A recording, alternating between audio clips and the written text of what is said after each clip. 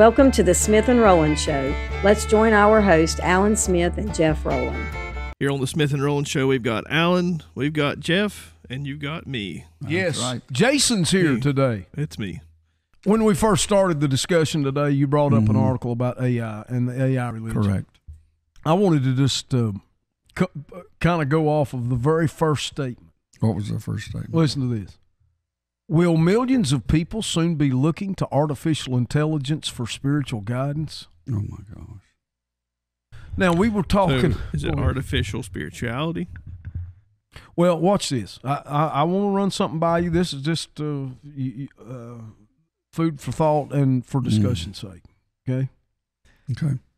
We were talking how that when God speaks something to the earth, Mhm. I'd preached that this morning. When God speaks something to earth, it becomes operational and active at that very moment. Here's a couple things that the scripture points out. No man knows the day nor the hour of the Lord's return. Only the Father, not even the That's what it angels. says. That's what the Bible says. Therefore, Satan doesn't know, right? Right. Okay. If Satan don't know when Jesus is coming back, me and you both know he has to have someone ready Mm-hmm. In the form of this antichrist, and we know that there is an unholy trinity talked about in the book of Revelation. There is. There You, is. you you've got the, the dragon, you have the antichrist, and you've got the false prophet, and all of that is is seen in the uh, um, in the book of Revelation. Talks about how that uh, uh, the dragon gives power for those to worship the beast, hmm and and all of those things. Will millions of people soon be looking to artificial intelligence for spiritual guidance? Is this in some way some type of forerunner during an end time scenario? If you go back to Daniel 12 4, seal up the, the words of this book, Daniel, till the time of the end. And the time of the end was described as many would run to and fro, and knowledge would increase. hmm Okay? So just think about that just for a minute. And I want your ideas on the productivity of artificial intelligence being used for spiritual guidance. My my answer to that question, because that's a question, will millions of people soon be looking to artificial intelligence for spiritual guidance? The answer is absolutely. Well, I'm persuaded uh, that most of the world is going to think that artificial intelligence, just like with Google, most people, believe it or not, will Google something and believe it's it's 100% true. Absolutely. And that is a type of AI, a search engine, Google is. Yeah. And so it gathers information. It doesn't say that it gathers true information. It gathers information.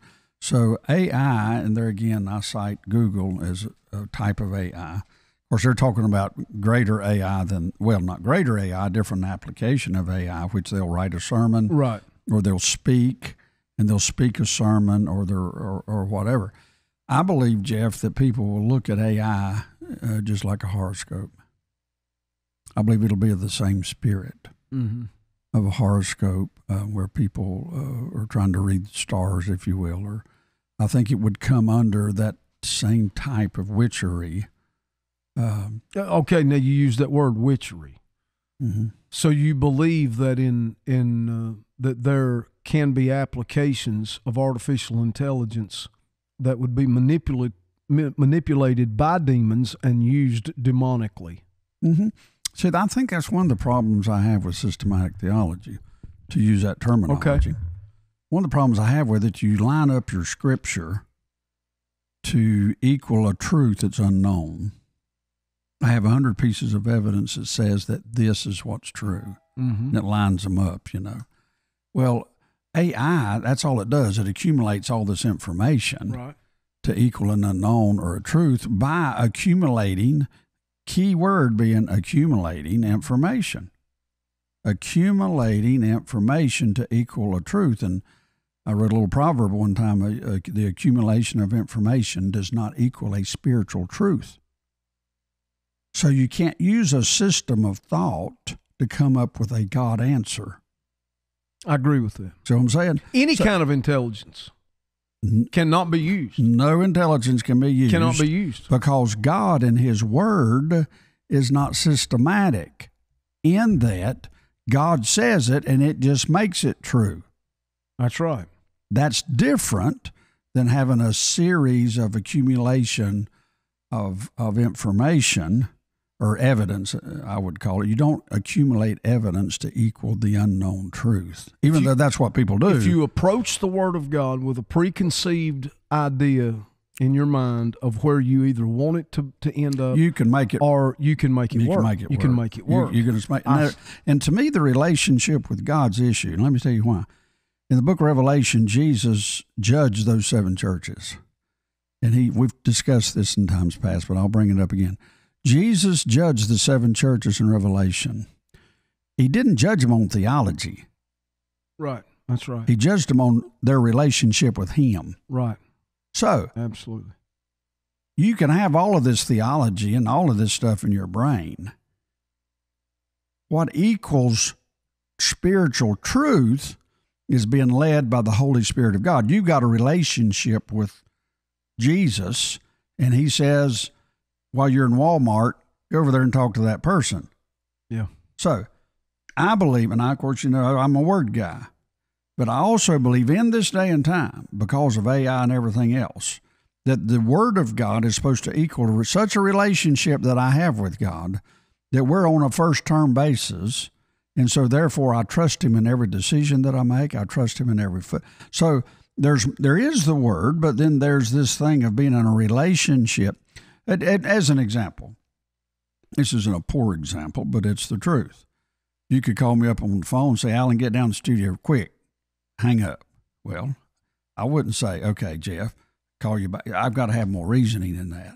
Mhm. Because of my level of trust in you, I'll, I'd just be here Yeah. and I wouldn't know why. All right, if I have that much trust level with you, surely goodness I can have more with God. So when God says something, you d- for some reason the human mind wants to accumulate information on why God said it. So therefore, I understand why God said it, so I believe it. Yeah. That's not the word of God. So with AI, I think that AI still has to have a search engine of some type that It it's it does that it's searching Yeah. for all of these topics or whatever and, and, and its filters and everything and then it brings together all of this evidence and puts it together in the forms of sentence or a or a way of thinking. You could say, okay, I want an article on dispensational theology or I want one on covenant theology or whatever.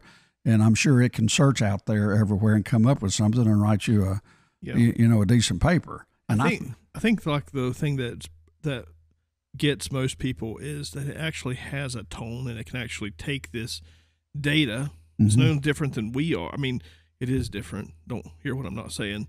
It takes data Mhm. and it regurgitates it in a way that suits whatever you're talking about. Yes, I'm sitting here looking at it right now, and I just I said, uh, "Tell me about Jesus coming again," and it tells me uh, Jesus will come again in a future event known as the second coming. It's believed that he'll return to glory to judge the living and the dead, bringing about the final fulfillment of God's kingdom on earth. It goes on. hmm But and so you could read that and say, well, it just went to Wikipedia and pulled out this data, and then it gave it back to you. But then I go down and I say, say a prayer to God for my headache, Mm-hmm. and it writes a look like it writes a prayer, like no joke. It writes a prayer. It says, "Dear Heavenly Father, I come before you with a humble heart, seeking your divine intervention and healing touch. I ask that you alleviate the pain and discomfort of this headache that afflicts, um, whatever your name is. I pray for your soothing presence to bring relief, bring calmness and clarity to your, to whoever's mind and body.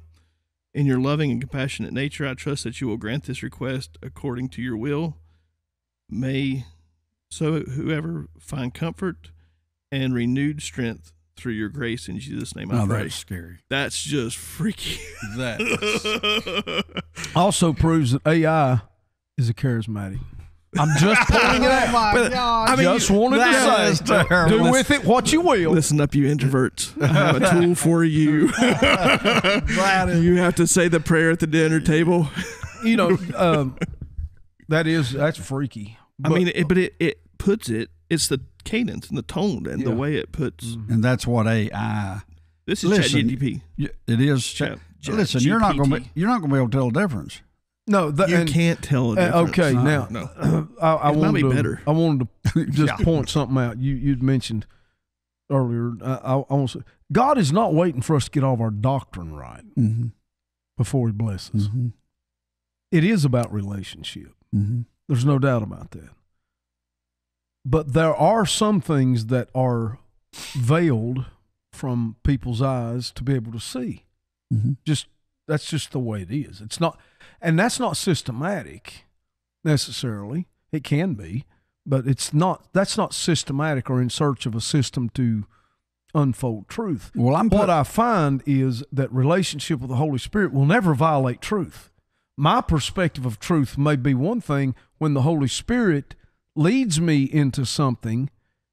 My perspective of what was true might have to be laid aside for a, a, a, a greater revelation from the Holy Spirit. One of the things that Isaiah wrote was this The vision of all is become unto you as words of a book that's sealed, which a man that uh, a men delivered to one that's learned, and and he says can't see it because it's sealed. mm-hmm. And then he delivers the book to someone else and says, "Here, take this," and, and the seals are open. He says, Mhm. "I can't. I'm unlearned." Mm-hmm. So there is a learning, a development of a relationship with Jesus Christ, and the Holy Spirit can lead us Mhm. into all truth. But I'm just We've experienced that. We've experienced that. What I'm suggesting in relationship, to be in relationship with Christ, is relationship with the Spirit. So, but what I'm suggesting is you can't get to the true learned part lest the relationship come first. it has to. It has to precede it, has to precede the learning. So now, watch this: and the AI is doing the job of the Holy Spirit. Mhm. I would say that in many respects, that that whole prospect is tied into, and, and you're going to shoot me here, in some ways to the mystery of iniquity that doth already Oh, I totally lurk. agree. Oh, I wouldn't shoot you. I'd agree with you. I believe Yeah, that. I believe that. But listen, it's it's. Uh, I will have to admit that's the first time I've ever heard a prayer uh, done by AI, and it's rather impressive. If if I go by what I hear, yeah. and now there again, I'm just impressed that it actually knows what a prayer is. oh, it's, uh, I'm telling you what's the truth. It, it's it's an it's, it's, a scary thing that we are uh, no longer that we relate more that there is more relationship to technology than there are to flesh and blood living creatures now yeah. that's to Mhm. me that In other words, you're saying that the the dogs of the world are going to be replaced by AI. Listen, prob- Your puppies. the Yeah, other and day, let me tell you preacher in chapel's not going to be happy the other day, i um, just got to tell you I, we had a conversation you want me to share with you no, no, don't share with me that conversation. Preacher and Chapel is Jeff's two do- pit Yeah. bull dogs. If That's anybody wants to know, And I got to tell you, man, listen, they're not. They are upset about this AI thing.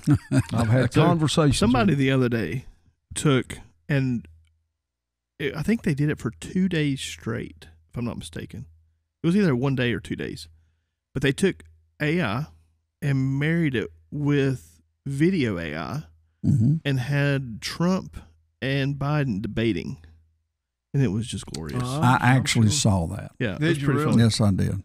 well, in this article, there was one church that um, AI preached the sermon. But you said it was a Lutheran church. I think that's right. Yeah, it was a Lutheran. Was church it a Lutheran Germany. church? Yeah. I know they interviewed a couple of them from what I heard this morning from a friend of mine.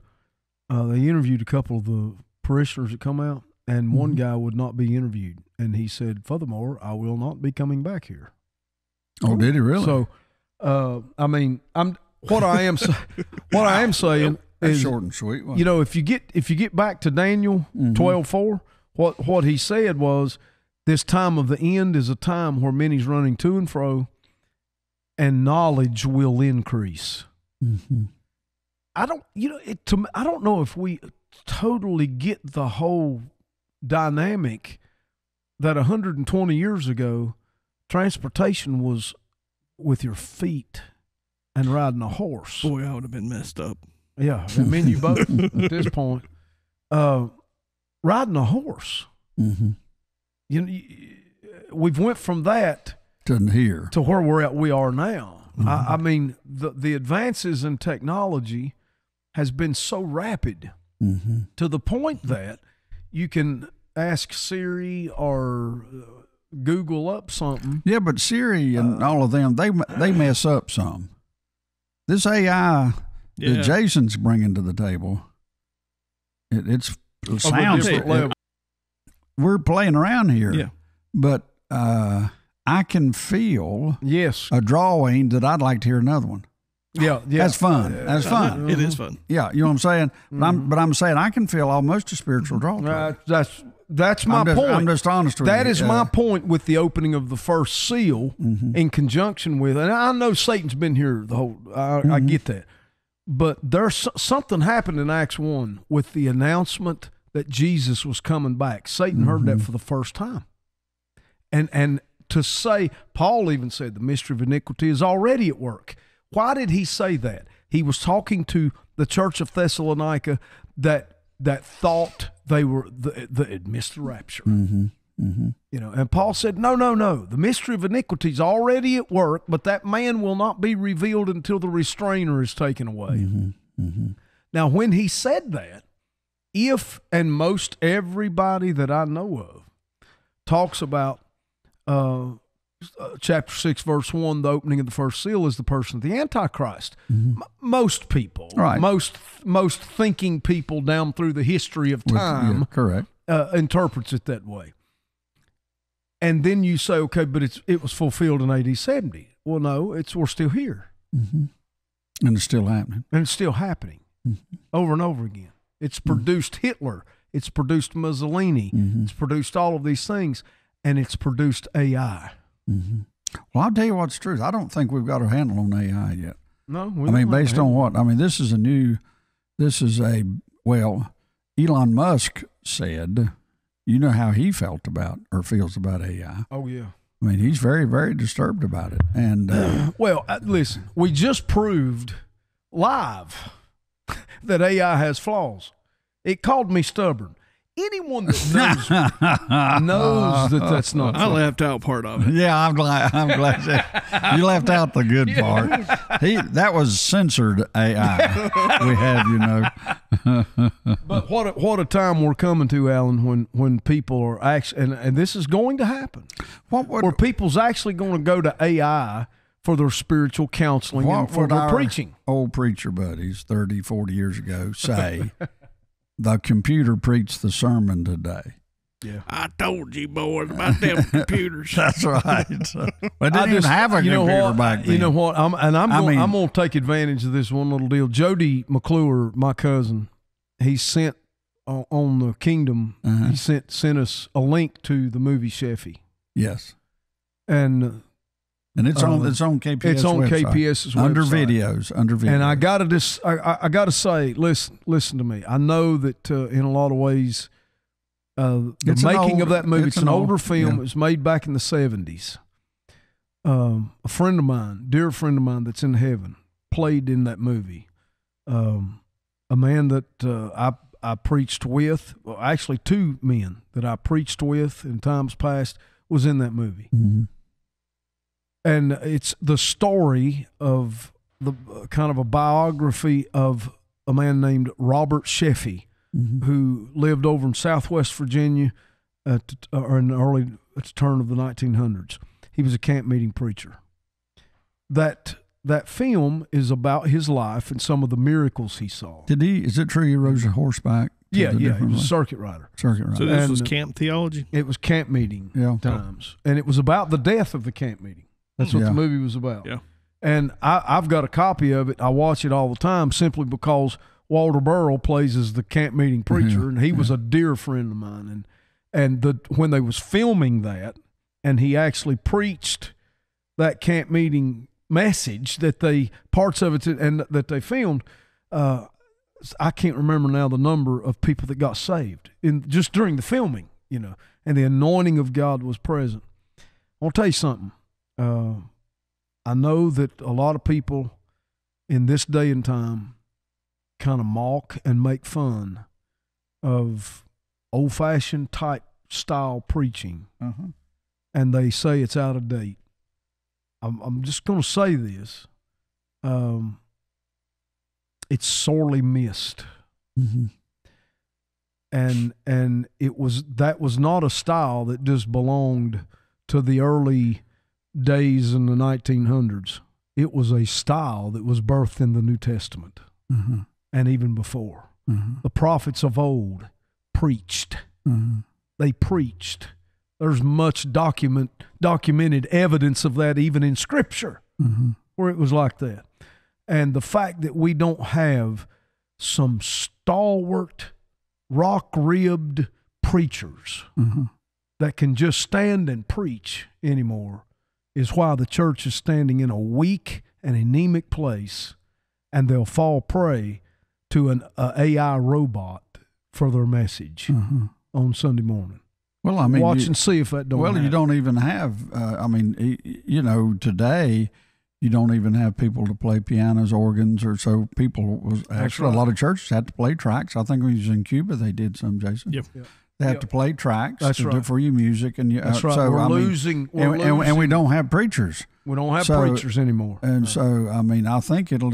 Uh, it, it's hard for me to fathom, but now that it, we've been introduced to this idea, uh, it's it's in it's in the It's play there. box. It's in there. the play box now. it is there and I trust. I trust the Lord to give us more revelation. Right now, Absolutely. I can just I'm just like you know. Uh, uh, a cow looking at a new barn door. I really don't know what I'm looking at, yeah. but I know it's a little scary and it's a book. Well, just follow me along, and I'll guide you through those. you see, that's what that sounds like something, in- something an mm-hmm. AI would say.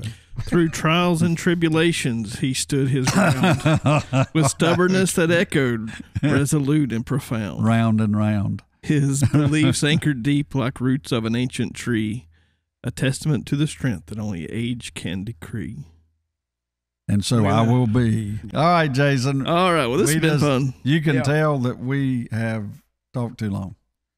Well, I, I mean, we're talking about Jeff. That's right. That's right. That's exactly right. That's right. And sometimes that's needed, and sometimes it's not. well, can I end this segment with one quote? Yes. Sure. It's by Franklin D. Roosevelt. Okay. He said, When you reach the end of your rope, tie a knot in it and hang on. That's where I think we are today. That's where we're at. That's exactly right. That's exactly right. All right, Jason. Well, Jeff, send us out with Father, prayer. we love you. We thank you for the day. We thank you for your grace. Yes. It's so amazing. Mhm. And thank you, Lord, that once you speak something to this, this earth, it always is, it always will be, because it always was. Mhm. Your word is of the same character Mhm. as you are, Lord. And we love you for that. Mm. Guide us, Holy Spirit, into all truth. Mhm. And we'll give you praise in Jesus' name. Amen. Amen. Amen and All right. amen. See Thank you next Jason. week. We'll be here. Thank you for joining today's Smith and Rowland Show. You can check out our website at kingdompropheticsociety.org and our daily unplugged podcast at smithandrolandshow.podbean.com. You can also join us on Amazon, Apple, or Spotify.